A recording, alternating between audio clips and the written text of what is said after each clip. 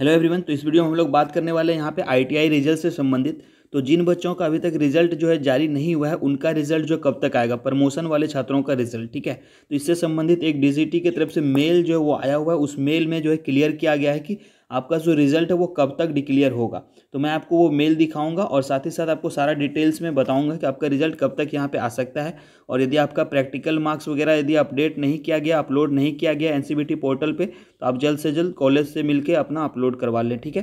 तो चलिए अब वीडियो को शुरू करते हैं। तो वीडियो शुरू करने के पहले यदि आपने चैनल को सब्सक्राइब नहीं किया है तो प्लीज़ सब्सक्राइब ज़रूर कर लीजिएगा। आपको यहाँ पे सारे आईटीआई से संबंधित जो अपडेट हैं, वो यहाँ पे प्रोवाइड कराया जाता है, ठीक है? तो चलिए अब चलते हैं मेल के ऊपर, जो कि आपका यहाँ पे डिजिटी की तरफ़ से मेल आया हुआ है।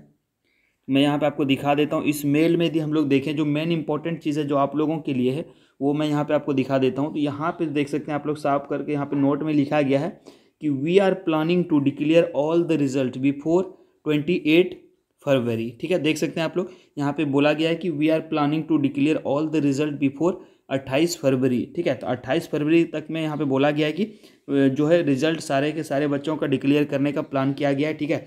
Those ED practical mark available in the system, जिनका कि ईडी और प्रैक्टिकल का मार्क्स जो है, वो सिस्टम के ऊपर अपलोडेड है, उन बच्चों का यहाँ पे बोला जा रहा है कि अट्ठाईस तक जो उनका रिज़ल्ट डिक्लेयर कर दिया जाएगा। मतलब ये है कि अभी जो आप लोग रिज़ल्ट चेक करते हैं जब एनसीबीटी पोर्टल के ऊपर तो वहाँ पे आपको दिखाता होगा कि आपका C B T main marks not uploaded है ना? इस तरह से लिखा हुआ यदि आ रहा है तो उन बच्चों का जो यहाँ पे ईडी और प्रैक्टिकल का मार्क्स जो वो अपडेट है और उनका रिज़ल्ट जो अट्ठाईस से पहले तक आ जाएगा।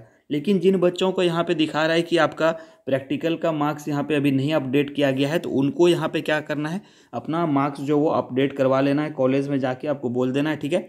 और यहाँ पे देखिए, वैसे बच्चे जिनका कि अभी प्रैक्टिकल वगैरह का मार्क्स यहाँ पे अपडेट नहीं किया गया है उनका बोला गया यहाँ पे rest will be done in the March first week ठीक है? और ऐसे बच्चे जिनका कि यहाँ पे प्रैक्टिकल का मार्क्स वगैरह सब सिस्टम के ऊपर नहीं चढ़ाया गया है तो उनका बोला गया है कि यहाँ पे आपका फ़र्स्ट वीक जो होगा मार्च के फ़र्स्ट वीक में उनका रिज़ल्ट जारी हो जाएगा, ठीक है? तो फ़िलहाल यहाँ पे अट्ठाईस तक में जो बच्चे जिनका कि यहाँ पे अभी तक नहीं आया, उनका अट्ठाईस तक में आ जाएगा। बसरते यहाँ पे उनका ईडी और प्रैक्टिकल का मार्क्स जो है वो सिस्टम में अवेलेबल होना चाहिए मतलब कि एनसीबीटी पोर्टल पे चढ़ाया हुआ होना चाहिए, ठीक है? और जिनका यहाँ पे नहीं हुआ है अभी तक अपडेट, उनका जो है फ़र्स्ट वीक मार्च में आ जाएगा, ठीक है?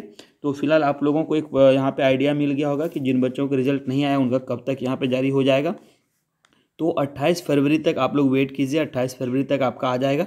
और वैसे बच्चे जिनका ईडी प्रैक्टिकल मार्क्स अभी अपडेट नहीं हुआ है तो उनका जो है, उनका आने में यहाँ पे समय लगेगा और उनका फ़र्स्ट वीक में, मार्च में, फ़र्स्ट वीक में उनका जारी हो जाएगा, ठीक है? तो आई होप आपके लिए वीडियोज़ जो वो इन्फॉर्मेटिव रहा होगा, इसलिए वीडियो को आप लोग ज़रूर लाइक कीजिएगा चैनल को सब्सक्राइब ज़रूर कर लीजिएगा, और जो भी आगे अपडेट आएँगे, मैं आपको अपडेट कर दूँगा। तो चलिए मिलते हैं नेक्स्ट वीडियो में।